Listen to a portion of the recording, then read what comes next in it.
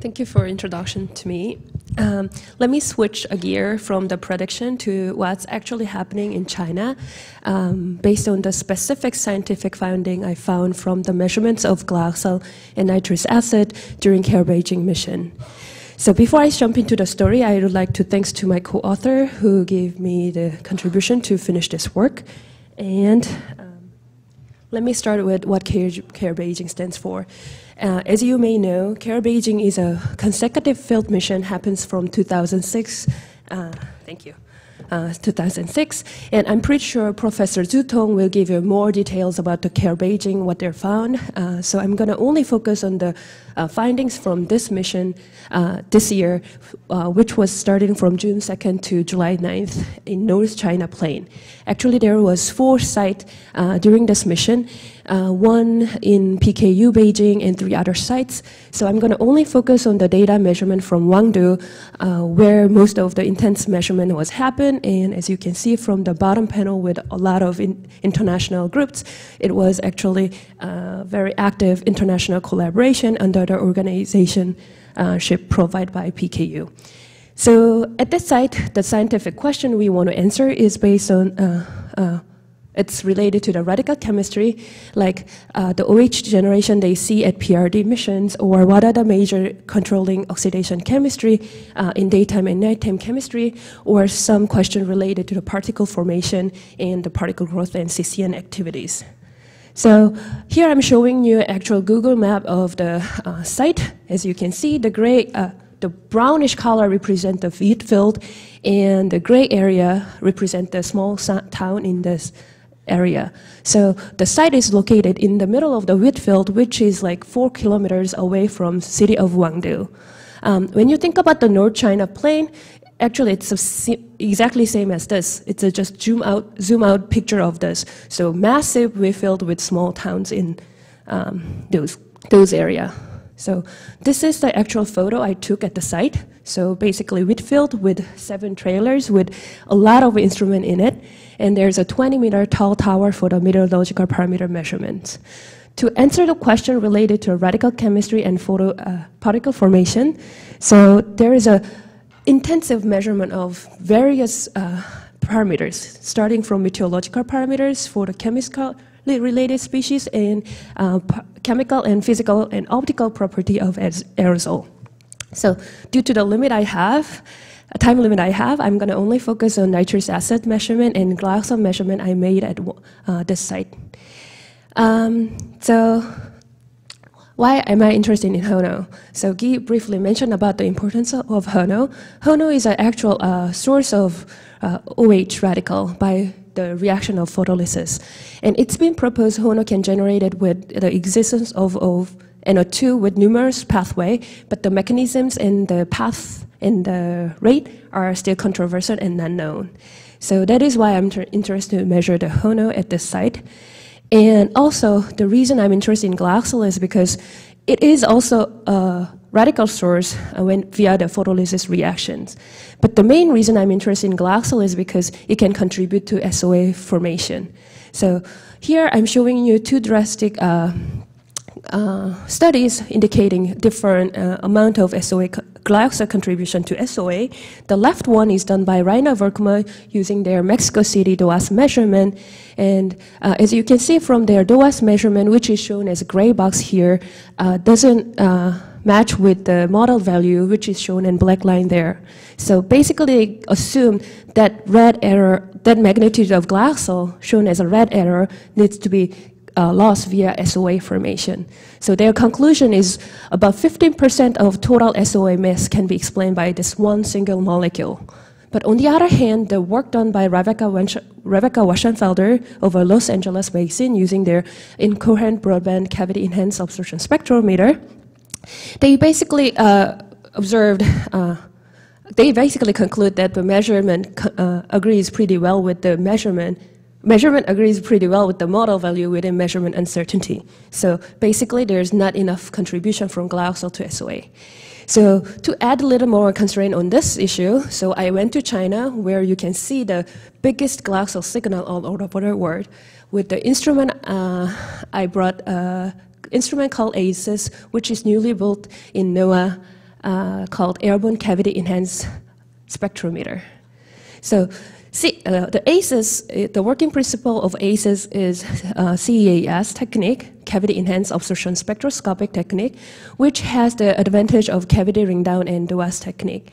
By having, uh, by having a optic cavity like cavity ring down system, it can provide in situ measurement of species. And by having broadband light sources and spectrally resolved detector with a fitting scheme like the DOAS technique, it can give you simultaneous measurement of multiple species. So the current setup of ACES has two different LED channel here and there, uh, centered around 365 and 455 for the uh, measurements of NO2 and HONO or NO2 and glyoxal simultaneously. With the current setup, I can reach up to the, uh, the effective path length can be reached up to 3.3 or 18 kilometers, which enables like sensitive enough measurement for the ambient measurements of glyoxal and HONO. So at the site, I had two different inlets, but from now on, I'm going to only focus on the data from the high uh, inlet. Uh, here I'm also showing you some of the general meteorological data during this mission.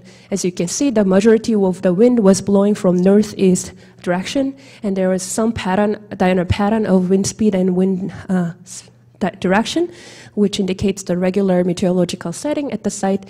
And as you can see from temperature and relative humidity, it was pretty hot and humid site. So here I'm showing you the time series I acquired with my instrument. As you can see, um, so the instrument has been up and running from the beginning of the field mission toward the end pretty well. And I'm, here I'm showing you from NO2, HONO, and glyoxal from top, middle, and bottom panel. So uh, during this field mission, there was a burning episode. As you may know, June, mid-June to July is the peak se uh, harvesting season of wheat in North China Plain. So once they harvest the wheat, uh, they dry them out and they uh, burn the crop residue in, at night because it's illegal to burn. So every night in these periods, I start to see the fire episode, and my instrument has suffered from the sensitivity due to the aerosol contamination on my mirrors. So except those uh, episode, my instrument has been up and running pretty well. How bad was the uh, fires? So here I'm showing you two drastic picture I took one I took right at the site during the sunny days just before the harvesting started. And the right one is one block away from the site. And I took the pictures right after the first day of burning episode. So even though there was any burning in this daytime, but there's massive um, haze during that days. So uh, I forgot one thing, and during the burning episode, the glyoxal concentration goes up to more than a ppb, which was about same magnitude I observed during the mission in United States. So as a first step of my analysis, I'm going to only focus on the sunny days from June uh, 8th to June 11th data for the further analysis. So this is the diurnal pattern I average over those four days of NO2 and HONO. As you can see, those gave us very typical diurnal pattern, low during days and high at night. For NO2, it's like few ppb during daytimes goes up to 15 ppb at night, and I see non-zero HONO signal. I'm not sure whether it's a true or not. I have to uh, do a little more work here. But if that is a in steady state HONO, that contributes like 0.2 ppt per second in radical production rate, which is big. So uh, I, definitely there's more work need to be done to prove that whether that is real or not. So for glyoxal, uh, the enhanced concentration ratio was observed during daytime and night, which is totally natural based on the uh, production scheme because it's a byproduct of oxidation, uh, byproducts of oxidation of many different hydrocarbons. But interestingly, I see drastically the very distinct morning time peak which is very different from the observation happens in the United States. Here I'm showing you one other example, uh, urban example uh, done over California in Los Angeles Basin during CalNex 2010 mission. They see the maximum peak near around noon where the OH peaks maximize. But interestingly, I don't see that peak, but I see very distinct picture in the morning time. To understand the underlying mechanism of this morning peak, I built a little box model uh, to uh, to explore that. So using the MCM chemical mechanism with uh, some observationally constrained parameters, and HO2 was my oxidant constraint, And uh, I use small alkene and alkanes and ethine and benzene, toluene, xylene and isoprene as a precursor of glyoxal. So in my model, I only have OH oxidation and photolysis as a loss process of my model. So th these three plots showing the result of my box model. So of ozone, formaldehyde, and glyoxal. So blue area represent the interquartile value of the observation of the four days, and the blue circle indicates the median value of that. And black is the modeled result. Basically, my model can capture ozone and formaldehyde pretty well, but drastically overestimate glyoxal, more than factor of four. So if I assume that, uh, like what Rainer Volkamer did, if I assume that much of discrepancy has to go some other loss process than OH oxidation, oxidation or photolysis, I assume that that mass goes to aerosol. And if I convert that number, uh, the maximum mass contribu con contribution to SOA goes up to 2.5 micrograms per cubic meters. Um, and in terms of productions, isoprene and aromatics equally contribute to glyoxal formation, and there's non-negligible amount of ethine production. And I ran all a uh, few different uh, scenario model to understand, to explain the morning peaks. So here I'm showing you the black is the total model, including the total uh, precursor of glyoxal, and green includes the only isoprene case, and yellow uh, indicates the only anthropogenic VOC precursor case. As you can see, the morning peak is mainly driven by isoprene oxidation, which is surprising to me because the isoprene and OH peaks in the middle of the day, like 12 p.m. at noontime, uh, but actually the uh, oxidation processes uh, to product production to glyoxal peaks at morning. So that's one interesting thing I want to explore in the future. Um, if I compare that with other urban setting, LA, uh, it is interesting. So as you can see, um, China case in LA case, those pie chart looks identical. Isoprene and aromatics are important precursors, and ethine is also important. But when you compare the production rate, uh, China is like 10 times faster compared to the uh, compared to LA case. But if I, if you remember this uh, diurnal pattern I showed you, the concentration, uh, with the 10, 10 times faster production rate, actually I see maybe like comparable or a little less uh, quantity of glyoxal over China. So that's another interesting question I want to answer in the future work. So as summary of my work, uh, I was able to collect valuable data set of NO2, glyoxal, and HONO from CARE Beijing mission. Uh, I observed non-zero HONO, and uh, my model definitely overpredict glyoxal by factor of four or five. So more work needs to be done. I'm more than willing to uh, explore about the HONO signal and also quantified how much of the contribution to SOA from glyoxal loss process. And, and with that, I'd like to thanks to the science team during the mission and funding sources, and more than willing to have questions. Thank you.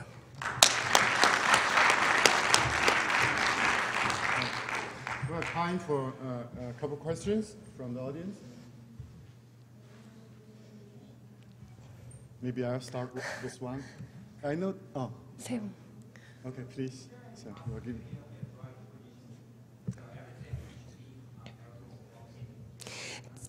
Yes, in my box model, I have constant value of um, deposition throughout the time of throughout the 24 hours. The reason is because I observation observationally constrained my precursors, so that was the loss term I considered. So I definitely need additional one than the dry deposition.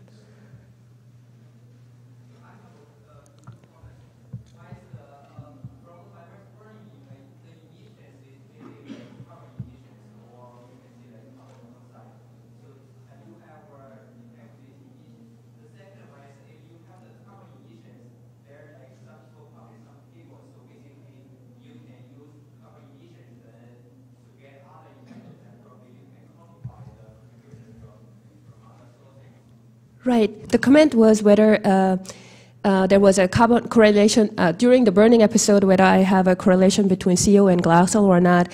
Um, I didn't uh, pursue this direct, uh, okay, I did a very rough eyeball uh, correlation test, and there was a definitely increasing signal of CO and glyoxal in not only this fire plume, but the fire plume I'm analyzing from the U.S. field mission. There was a good correlation between those two. Uh, the second question is uh, based on the emission factor analysis, based on the enhancement ratio of CO and glyoxal, can I uh, per, like compare that or not. So, so far I know there's only um, lab uh, measurement of glyoxal emission from fire. There's no field data available, so I'm preparing that for the future. Okay, maybe last question. Yeah, short, please. In your modeling of uh, glyoxal production, you said you used MCM version 3.2. Does that include the fast production in first generation and the removal of the second generation production? So it doesn't include the first generation oxidation, uh, first generation product of glyoxal. Um, but uh, the reason I didn't include that is because uh, from my previous work with the SENEX data analysis, it very, it's highly variable based on the NOx region. So I want to wait until uh, what I found from that. And the second uh, generation thing is also not included, but I also wait, want to wait until I found. Okay. Thank you.